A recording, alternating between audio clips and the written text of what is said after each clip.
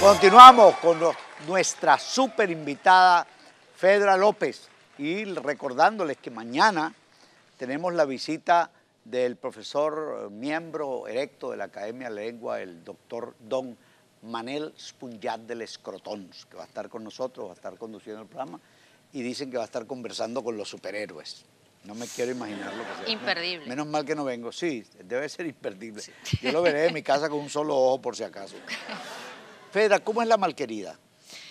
Hoy, bueno, la malquerida es una mujer que de joven tenía muchos sueños y bueno, de repente se encontró casada, eh, con hijos, después, este, como está la situación hoy en día, que tú sabes que no alcanza económicamente como para que cada hijo cuando encuentre a su pareja vaya, forme un hogar, tenga, compre su apartamento, alquile. Entonces, ver. bueno, como la casa era grande, pues ella queriendo a sus hijos, los fue acobijando, acobijando, entonces se encuentra que ahí vive, eso es una choza maquiritaria, o sea, ahí vive el- Sí, sí, sí, sí. los hijos, los nietos, el esposo, los suegros, el- los perros, todo el mundo está ahí. ¿Qué Entonces tal? ella se ha ocupado, se ha ocupado, se ha ocupado y se ha, se ha abandonado. Claro, se ha encargado de todos menos ha- de ella. Sí.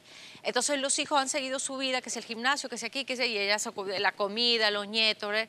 Entonces llega un momento que dice, no, mira, no, no, no puedo, ¿dónde estoy yo? Y entonces agarra sus cosas y se va de la casa.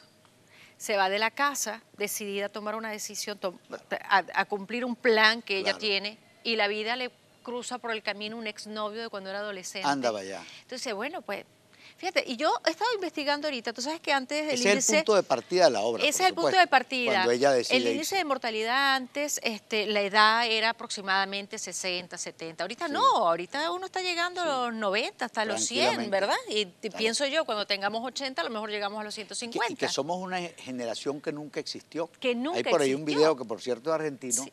de, de qué pasa con los que vivieron Woodstock y Vietnam y ta- hasta ahora, que pasaron casi que de las señales de humo al celular inteligente. Claro. Entonces, nunca había durado tanto el hombre sobre el planeta. Para ver tanto Somos la primera generación que dura tanto. Y qué bueno, porque nos hemos ido acostumbrando, ¿verdad? Yo creo que sí, yo creo que Sí, sí. mira. Entonces ella se encuentra con este Bueno, se personaje. encuentra con él y dice, bueno, si estoy entrando prácticamente por el índice ese que hay de los estudios, ella está en plena adolescencia. Entonces, nada, dice, le voy a echar ahí, vamos a, a- a vivir este sueño, ¿no? Y bueno, ahí es donde arranca la obra que, que- que uno tiene que ver que hay. Siempre hay posibilidades de soñar y de, y de comenzar nuevamente. Todos los días que uno se levanta es un día nuevo y estamos naciendo. Cada día se vuelve a nacer. Entonces, no importa por lo que uno esté pasando, todos los días hay posibilidades de arrancar de nuevo. Qué bueno, ese es el mensaje que le deja a uno. Pues parte del mensaje. Ok, Pero tiene que ver todo, todo lo que le pasa. Claro, está muy, claro, está muy no, no, pero digo, está- eh, sí. pero es muy bonito el, Sí. lo, lo que deja porque que le Sí, diga porque además vale igual para hombres que para mujeres. Pero es que yo digo que es una obra escrita para las mujeres que ningún hombre puede dejar de ver. Ya, El hombre no entiende nunca a la mujer. no. Yo pienso, pienso que después de escuchar a Esther, porque ella se abre de par en par, abre su, su corazón, abre su alma, Esther mata. Esther mata, el hombre va a entender un poquito más a las mujeres. ¿Qué tal? Yo que, yo que creo que el secreto de esa, en esa materia es no tratar de entenderlas. Como dicen por ahí, a las mujeres hay que amarlas, no Sí. que entenderlas. Sí, Entonces, el famoso sí, mi amor, sí, mi amor, sí, mi amor. eso es fabuloso. Sí. Pero O a veces nos sentimos como si, no, como si muy duro. fuéramos A mí, locas. a, mí, a mí me dijo una analista, me dijo, si tú, el día que tú descubras lo maravilloso que es para una pareja, lo mucho que gana una pareja, lo mucho que alimenta a una mujer, el que tú la escuches cuando está hablando, que es casi siempre, cuando está hablando,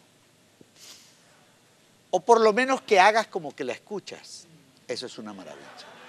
que hagas como que les mira. Bueno, porque es que yo he llegado, de tanto hacer silencio, he llegado a entender, sí, yo puedo hablar de eso hasta ahora porque no hay nadie viéndolo. De tanto hacer silencio, yo he llegado a entender que es la conformación de cada uno de los dos sexos. Ellas son comunicadoras, Sí, totalmente. totalmente comunicadoras. Sí. Es decir, yo me imagino que si uno llegara a contar cosas similares, yo me vería diciendo cosas que nunca se me ocurrió este, contar en mi casa, como decirte, ay mi amor, tú sabes que esta mañana ya iba por la avenida, me habían volteado el retrovisor y yo no me había dado cuenta, entonces lo tuve que voltear. Yo eso no lo cuento, pero una mujer sí te cuenta eso. Todo, sí. No es que, cuidado, lo que estoy diciendo es que diga cosas sin importancia, es que lo dice todo, lo que tiene y lo que no tiene importancia. Y cállese la boca. Pero no tiene filtro, no tiene no, filtro. No, tiene todo filtro. Le, pasa y lo dice. No tiene filtro y son peores que, que un interrogador de la, de la, de la, de la CIA, porque ella sabe en qué momento decirte, ¿no te parece? Ay, ¿dónde, ¿por dónde iba esto? Mm. Eh, eso es, lo, eso es lo, lo, difícil. Porque uno se da cuenta cuando sí. estás haciendo que ¿O qué escuchas. harías tú? Bueno, Fedra, nosotros nos hemos dedicado de un tiempo a esta parte aquí en el programa Sí. a hablar de la etapa más importante que va a vivir Venezuela, que sé que la amas profundamente, Sí. este, en breve. Y es que nosotros vamos a tener que, vamos a necesitar, vamos a deber reencontrarnos y reconciliarnos. Sí. ¿Qué crees tú que se debe hacer, que se puede hacer? ¿Cuál es tu opinión? Yo creo que lo más importante es que todos, todos somos venezolanos. Me incluyo porque me siento. Yo sé.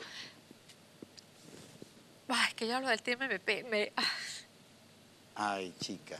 a mí, a mí me pega mucho porque yo de verdad amo, amo ese país. He tenido la oportunidad en mi vida de viajar mucho, de conocer muchas partes del mundo y nunca me quise quedar en ningún lado. No quise ni siquiera regresar a mi país. Para mí, mi país es y siempre será Venezuela. Yo creo que ustedes tienen algo hermoso, Nosotros, hermoso. nosotros. Todos los venezolanos tienen algo hermoso, que es que tienen un corazón grandísimo. Venezuela es un corazón con los brazos abiertos, por eso la cantidad de inmigrantes que han ido para allá, la cantidad de extranjeros que, ha acobijado. Yo he sido una. A mí me han abierto los brazos, me han apoyado incondicionalmente. Entonces yo creo que eso no se pierde, la esencia esa no se pierde, no la van a perder nunca. Entonces no importa, yo, yo soy de las que vivo con la maleta detrás de la puerta. Y en el momento que este gobierno caiga, yo agarro mi maleta y me voy para allá, a pesar de que la situación va a ser más difícil que nunca. Va a estar mucho más difícil que ahora posiblemente. Pero no importa, hay que ir a poner el hombro y a levantar el país. Y lo principal es que no nos olvidemos que no importa, no importa la condición política. Eso queda a un lado. Lo más importante es que somos venezolanos. Hay que abrazarse, hay que olvidarse y hay que arrancar de cero a levantar ese país que es el país más rico del mundo, lo tiene todo. Tiene la gente, tiene las tierras, tiene los mares, tiene petróleo, tiene, tiene todo. Tiene todo. Ha sido un país bendito. Entonces, eso es lo que hay que hacer. Y tiene a Fedra López. Gracias. Gracias en nombre de No, tu país, ti, Venezuela, a ti. que te ama siempre. Gracias. Queridos amigos, gracias por habernos permitido acompañarlo durante este rato. Que el Dios de su Pepe los cuide y acompañe mucho. Volvemos a vernos aquí mañana con nuestro invitado, el profesor Estudiar. Oh. EBTV, a nombre de Yan Long, el mejor restaurante chino de Florida en el 8726 Northwest 25 Calle en Doral. Carmix, en la calle 14 Río Abajo a 100 metros de Vía España en Panamá, para un diagnóstico acertado y honesto de tu vehículo. Americacel, con los mejores precios en accesorios para tu teléfono. 4297 del Northwest, 107 Avenida en Doral. Dental Centers, ubicado en Coral Gables, Hialeah, West Kendall, Country Walk, Homestead y Weston. Llámanos al 305-258-9838. Pistolín para limpieza total. Pistolín que hace feliz a tu nariz. Italy Blue Auto Sales para que compres tu carro desde Venezuela y por WhatsApp